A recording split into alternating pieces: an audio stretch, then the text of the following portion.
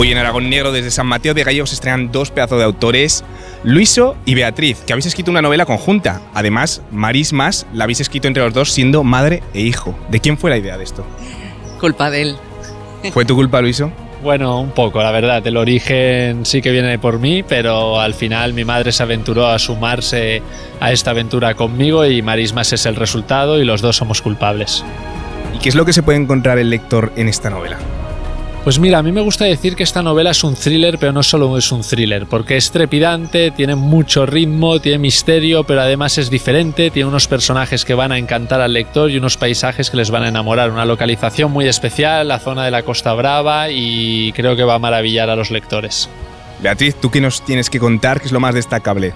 Bueno, pues entonces yo, si Luis ha hablado de los paisajes, yo te hablaría de los personajes que me encantan. Son como una gran familia, unidos por un tema muy especial, ¿vale? Del que no voy a hablar porque sería un spoiler, pero que se va descubriendo al cabo de la novela.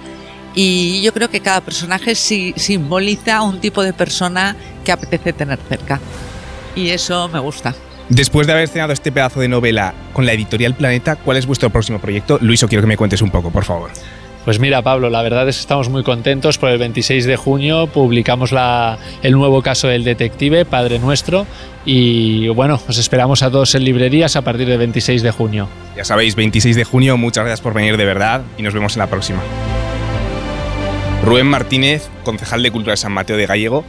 Una vez más en Aragón Negro, un año más, ya es una constante aquí, ¿no? ¿Por qué San Mateo sigue apostando tan fuerte por la cultura?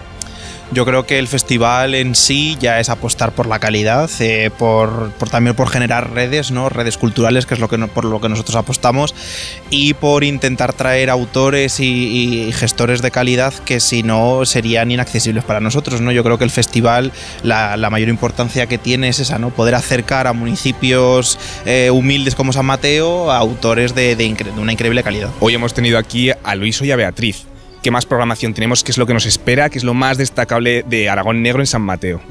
Pues mira, yo creo que eh, este ha sido uno de los actos eh, fuertes del festival en San Mateo y justo dentro de una semana tenemos a otra escritora de, gran talla que es María Suré, eh, que tenemos muchas ganas de, de recibirla y como siempre es Festival Aragón Negro Esperanza San Mateo.